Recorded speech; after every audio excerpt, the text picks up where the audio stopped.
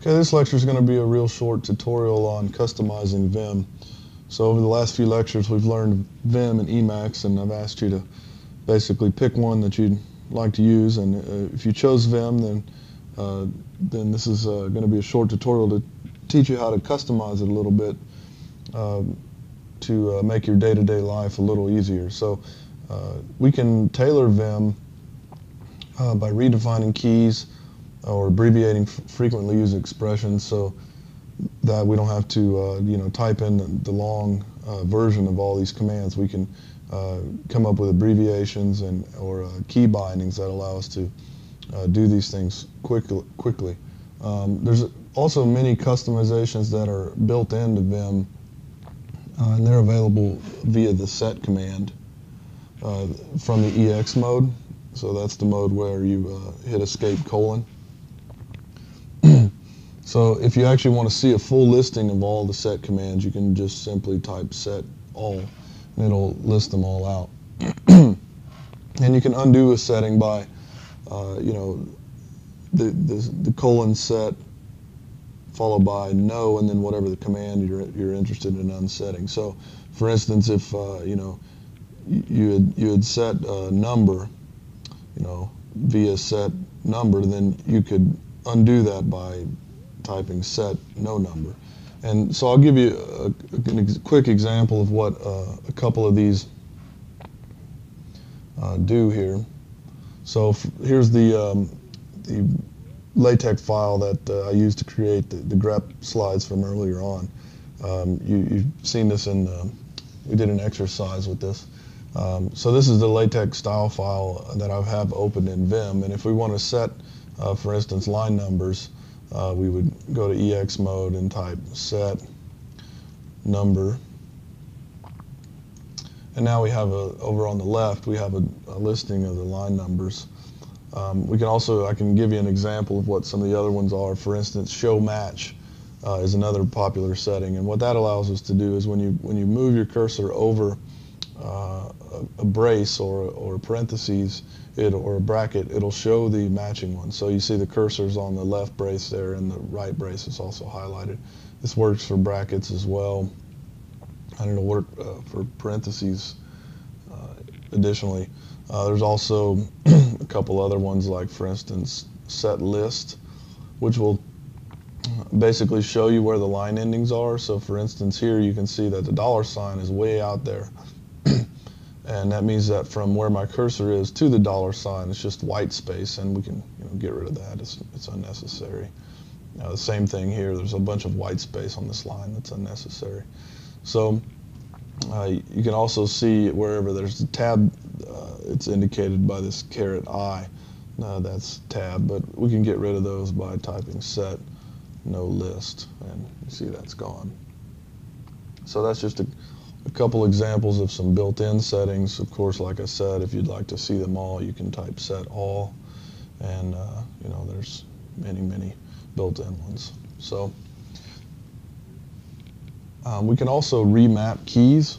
So this is kind of a neat feature, and you can basically create your own key bindings with this. Uh, and we do that from EX mode with uh, the map command. So you can also, you know, you can undo any key binding with unmap. Um, to make uh, key sequences in input mode, you, you need to add an exclamation point uh, to the map. But let's go ahead and, and, give an example of this. For instance, uh, you know, we, we know that to save a file, we typically would type colon write, and then you get the uh, message down there at the bottom of the screen. Well, we could remap a key from edit mode. Uh, so what we'd say is map G. We'll, we'll use the G key. So we're going to map G uh, to colon W. Now to enter uh, a carriage return is a little tricky.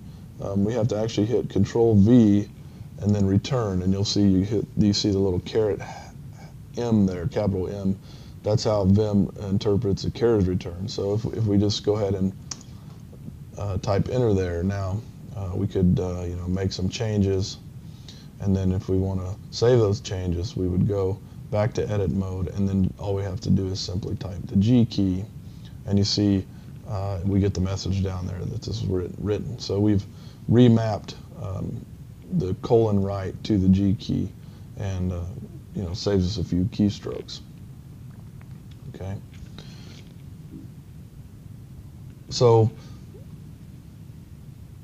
what you're going to want to do is once you uh, get a set of uh, you know key remappings and set commands that you use a lot, then you'll want to put those in a file uh, in your home directory.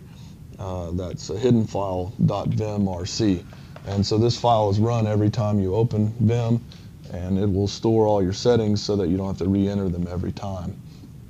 Um, I have a fairly complicated vimrc file. I'll show you.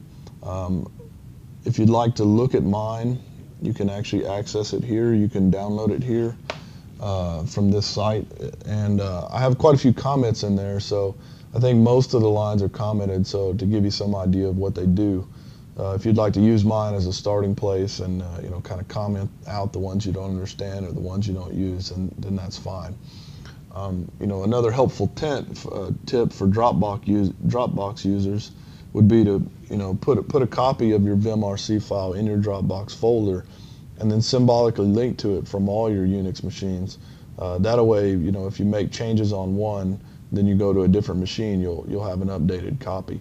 There's other ways to do this too, um, and, and it's actually exactly why I have mine out on the web on GitHub because uh, you know I, I, I then uh, can always keep it in sync with all, all my other machines. I won't exactly get into why or how I do that, but uh, you know, for Dropbox users, it's it's easily uh, the easiest way is just to do what I said there. So just to give you an idea of what mine looks like, um, I've actually got it all folded up, uh, so you, you can uh, kind of separate it out into separate areas.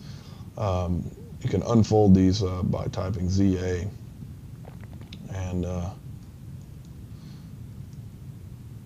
So you can see mine is over 119 lines long.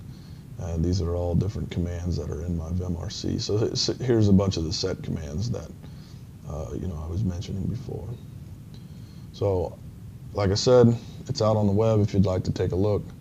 And uh, if you're a Vim user, I highly recommend customizing your environment. It'll make you more productive.